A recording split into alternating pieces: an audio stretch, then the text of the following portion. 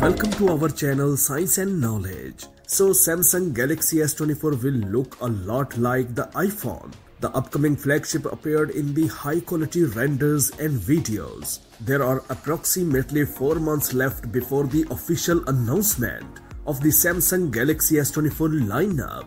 But leaks of information about the new product have already begun to appear on the network. The SmartPrix website and authoritative insider Steve Hemmerstoffer, known under the nickname OnLeaks, published videos and renderings of the basic flagship Samsung Galaxy S24 basic model. This is the most compact smartphone in the lineup. It is equipped with a 6.1 inches display. Judging by the renders and videos, the design differences between the Galaxy S24 from its predecessor will be quite minor. In particular, the S24 has completely flat polished side edges in contrast to the slightly rounded sides of the Galaxy S23 model. Flat edges make the smartphone look like the latest iPhone generations, although Apple has already abandoned glossy edges with the iPhone 15 smartphone. At the same time, the new model has the same rounded corners and the metal frame as its predecessor, the design of the rear camera with three lenses placed vertically was also retained. The video also shows the Galaxy S24 smartphone in blue with a UWB antenna strip under the power button. Ultra wideband UWB support is available on the older Galaxy S23 Plus and the Galaxy S23 Ultra models, but for the first time, it will be available on the base model of the flagship Galaxy lineup.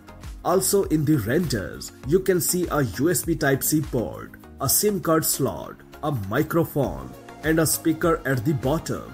There are two more microphones at the top of the case.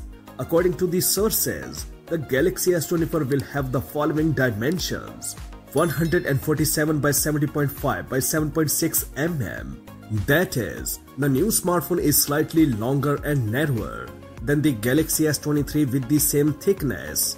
According to rumors, the global version of the Galaxy S24 will come with an Exynos 2400 processor, while in Canada, China and the US, the version with the Snapdragon 8 Gen 3 chip will be sold.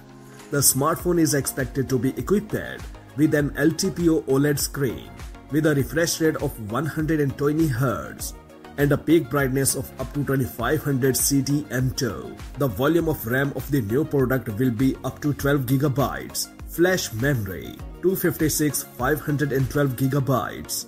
The main camera of the smartphone will include a 50 megapixel sensor, a 12 megapixel ultra wide angle module, a telephoto lens with 3x optical zoom, and a 10 megapixel sensor.